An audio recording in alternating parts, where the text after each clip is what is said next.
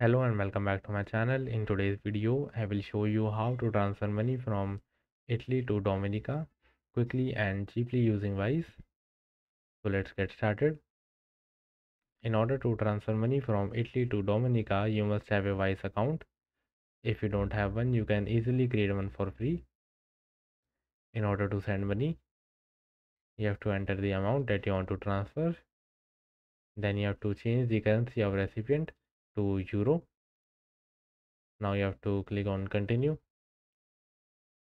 Now it will ask you about the details about yourself like your country of residence full legal name date of birth and phone number.